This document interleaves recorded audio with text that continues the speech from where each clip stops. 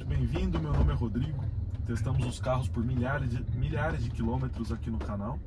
Testes de convivência aí por muitos, muitos quilômetros, vários tipos de pavimento. Em circuito urbano e rodoviário. Fazemos testes de consumo também. Muitas águas rolam aqui no nosso canal.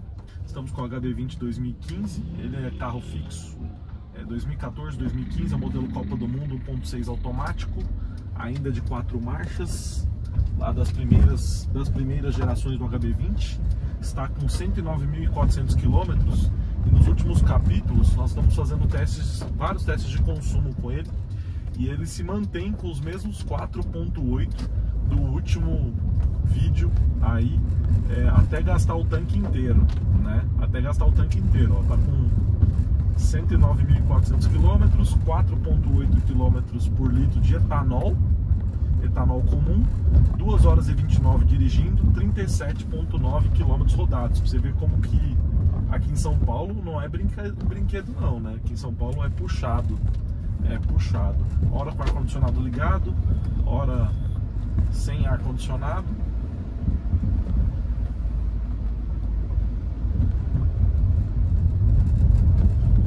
E seguimos aqui nessas ruas com trânsito com asfalto bem ruim, bem ruim.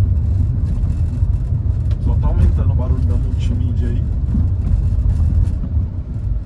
Eu vou prometer para vocês que eu vou parar uma hora, arrumar tudo, tudo, tudo. Eu sou desses. Na verdade, eu sempre, eu nunca deixava uma coisa muito tempo fazendo barulho, nada. Mas a dinâmica das coisas aqui mudou substancialmente. Ops, é por aqui, ó. Mudou substancialmente, então não tem jeito. Tem que fazer as coisas no tempo que a gente consegue fazer, né? Opa, no tempo que a gente consegue fazer.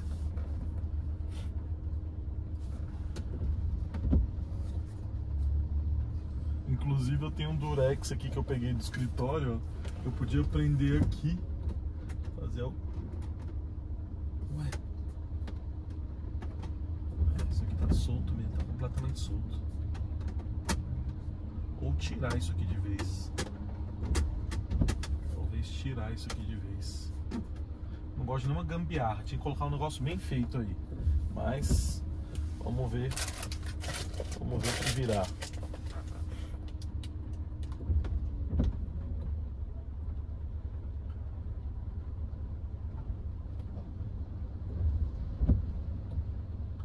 4.8 km por litro, hein? Pessoal me falou assim, nossa, mas seu HB20, até os botões do painel não estão, do volante não estão desgastados. Então sim, pessoal. Aqui já está do lado esquerdo no botão mais e menos, já está um pouquinho escurecido. Que é normal, depois de uns 4, 5 anos de uso no HB20, esse botãozinho aqui já ficava escurecido, tá? Mas tá íntegro aqui. Tá, o botão tá com a função dele operando normalmente, né? Opa! buracos e mais buracos.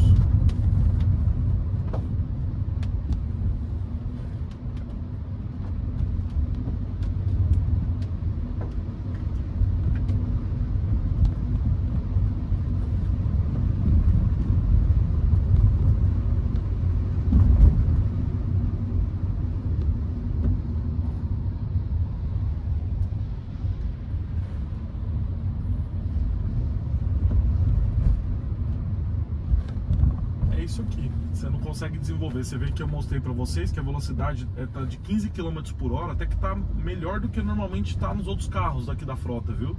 Andando só no centro urbano aqui de São Paulo, nos horários que a gente trafega. 15 km por hora de média de velocidade, é baixíssima, né?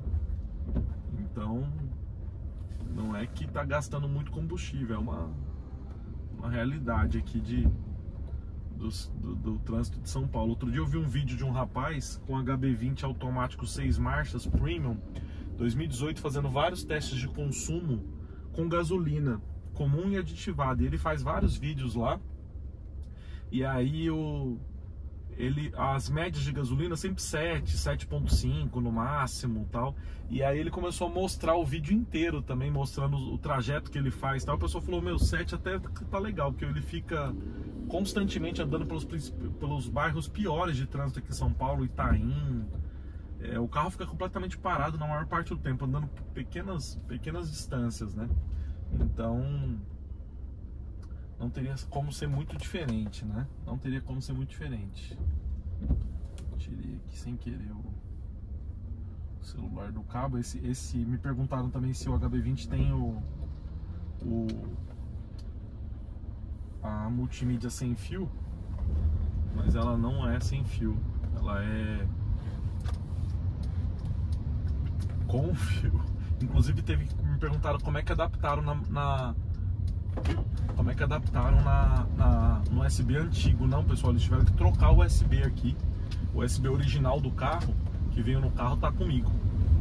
O USB que veio original no carro tá comigo.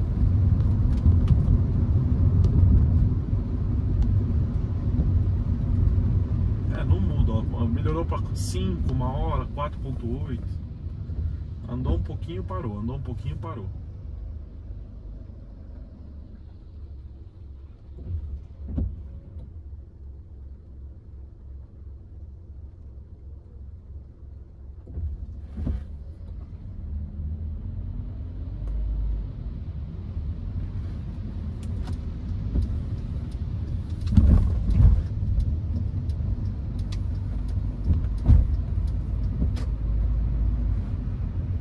Doçaria da vila. Essa doçaria aqui é famosa. Tá escrito doçaria.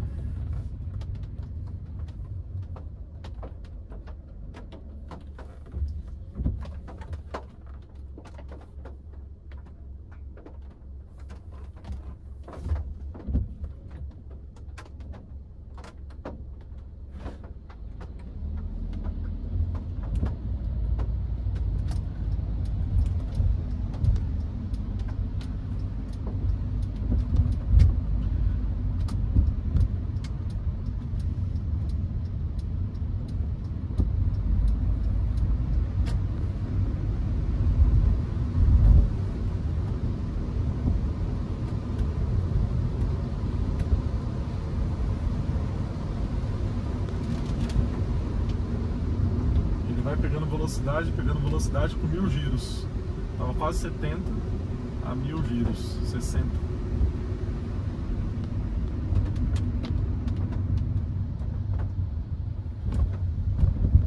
Essas lombadas aqui eram bem levinhas e elas passaram a ser bem diferentes, bem altas agora.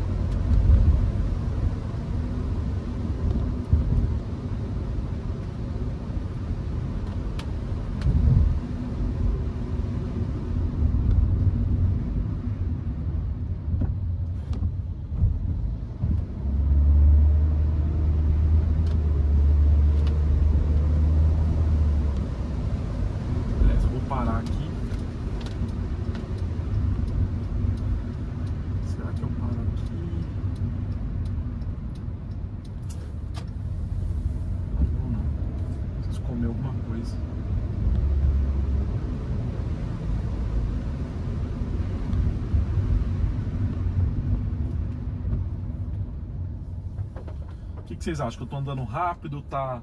Tô andando normal, né? Como vocês andariam aí, ó. 4,8 km por litro. Me perguntaram também com que base que é feito o. Deixa eu ver se tá gravando aí. É, me perguntaram também com que base é feito o HB20 Copa do Mundo. Pessoal, o HB20 Copa do Mundo, na época, era o único da linha que era barra 2015, que era modelo 2015, quando lançou. E, e, ele é baseado no Comfort Plus, por isso que ele é bem simples, só que ele tem detalhes, ele tinha roda 15, todos tinham 14, exceto o Premium que também tinha 15. Ele tinha grade preto Black Piano, os retrovisores são Black Piano também. Ele tinha um multimídia, que não é esse aqui, o multimídia original que vocês conhecem. O banco em couro com... E, inclusive o multimídia dele, quando, liga, quando ligava, era a taça da Copa do Mundo da época, uma, uma introduçãozinha que ficava girando no painel, era bonitinho e tal, né? E, a, e, e, as coisas que dão mais requinte no carro, talvez mais conforto aqui dentro do carro, é geralmente o banco em couro e o multimídia. Né? O restante ele é. Tanto que o painel dele nem é aquele painel bicolor, que o próprio Comfort Style na época já tinha o painel bicolor. E, e o Premium também, né?